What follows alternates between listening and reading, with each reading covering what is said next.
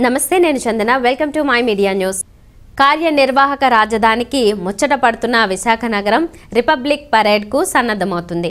ఈ ఏడాది ఆంధ్రప్రదేశ్లో గణతంత్ర వేడుకలను విశాఖలో నిర్వహించాలని ప్రభుత్వం నిర్ణయించింది. ఈ నేపథ్యంలో విశాఖ బీచ్ రోడ్లో సకల ఏర్పాట్లు జరుగుతున్నాయి. ఈ మేరకు డీఐజీ గోగినేని విజయ్ కుమార్ పర్యవేక్షణలో రిహార్సల్స్ జరుగుతున్నాయి.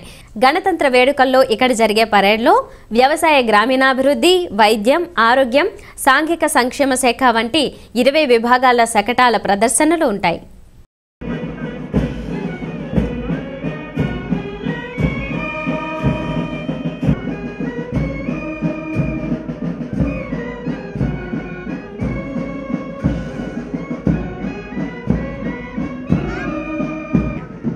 మీ కదలికలు